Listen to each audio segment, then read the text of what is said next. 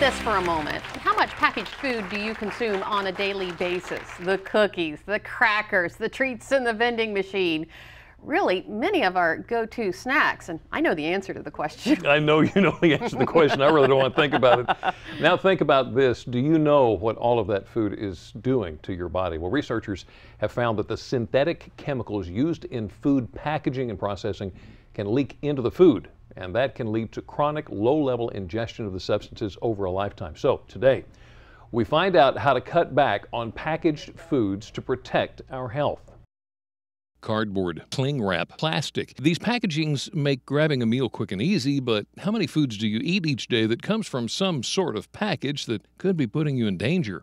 Most of my food comes from packaging. Recently, it was like all my food came in a package, so it was like every meal. It might be hard to eliminate them completely, but there are ways to cut down. First, buy your favorite foods in bulk, which can be stored in glass containers at home. It's a good option for buying what you need and reducing the number of products that sit in your cupboards.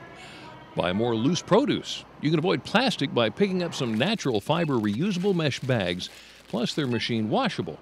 Tips to keep your food fresh and your body healthy. Did you get that? I, I got that, and I want you to know that I don't eat packaged food all the time. No. Just like 95 or 90% of the time. Just when you're at work. Only when I'm at work, it's the truth. Just most of the time. well, perhaps you try to support your diet with supplements. And there are so many on the market. It can sometimes be confusing and overwhelming to determine what your body does and does not need. So how do you choose? Well, here are three key supplements you need to be taking as recommended by Dr. Oz. If you have ever been to a vitamin store, you know how overwhelming it can be. Rows and rows of vitamins to choose from. So, how do you choose? Start by choosing a multivitamin. It ensures you get all the essential vitamins and minerals recommended for each day. A typical multivitamin includes 10 vitamins and 10 minerals. And pick up omega 3 fatty acids. They boost your brain, protect your heart and arteries. And finally, try calcium and magnesium. Calcium combined with magnesium not only supports your bones, but also keeps your teeth and muscles healthy. Choose ones that contain 600 milligrams of calcium and 400 milligrams of magnesium.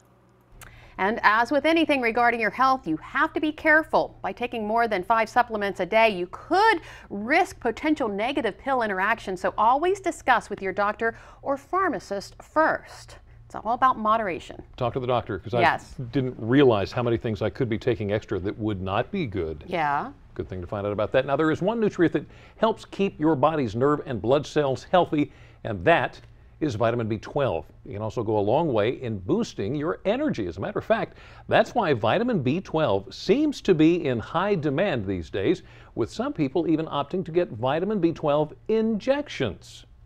But the question is, is it just a fad, or is vitamin B12 really the fountain of youth?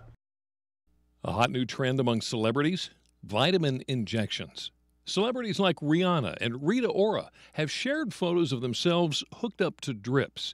The vitamin of choice, B12. Vitamin B12, it's an essential vitamin. It's also called cobalamin, and it's something that we need in our body to help it work normally, especially as far as making new cells, like red blood cells, and helping your nervous system work properly. B12 is said to increase energy and speed up the metabolism, which may be why many labs now are giving them by the hundreds. No need for a prescription a lot of people will come in, you know, at week four of their last shot and say, you know, at week three, I could really tell my energy just dropped off the table and I needed another B12 shot. But according to registered dietitian Heidi Schmidt, most people are getting plenty of B12 through their diets alone.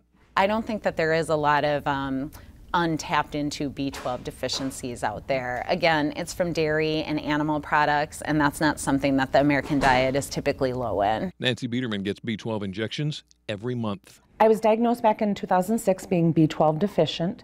I had um, a feeling in two of my fingers that was the same, and it was not really a numbness, tingly, just kind of a weird feeling that didn't go away. Most likely a severe deficiency. Nancy can tell when she's getting low on B12 by her energy levels. The only true way to know if you are B12 deficient is with a blood test, but there are some signs. People can get fatigue or headache as some of the more common things. In more advanced stages, you can get some neurologic uh, side effects. So that would be mood changes numbness or tingling in the hands and feet, sometimes difficulty walking, irritability, memory problems, things like that. Dr. Bershow says B12 injections can't really do much damage. So they're probably not causing a significant amount of harm, but they're also probably not helping themselves much if they don't actually have a true condition that they're treating.